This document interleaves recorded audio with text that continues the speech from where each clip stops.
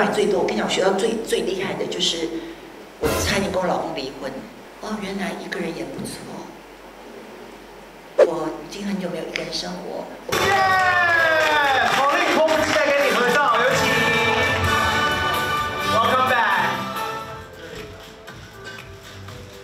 那辛苦虾皮的同事们，待会要搬下椅子哦。大家好，好久不见，我回来了。对，我是丽晶，不是萧亚轩哈。觉得这个时间有学到一些什么新的东西？有学的时候，其实就是买东西啊。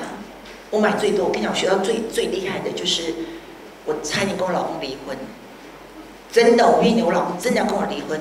我跟我老公在一起，只要二十年嘛，然后我没有绯闻啊，也没有都没有。但是我们在北京的时候，我就是一直买和田玉，一直买，一直买。我买了二十万的人民币，看看了就买，所以我买了很多，买了上百万台币哦，一百万台币。我老公看到说：“你不要再买石头了，你不要再买石头。”我说：“它是和田玉。”然后后来他就很生气，就一个人宁愿隔离二十一天，他就回到台北。你们记不记得那时候讲说：“哦，原来一个人也不错。”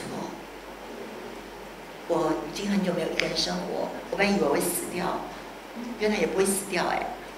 就在那个时候，我已经决定说，好吧，那就一个人了。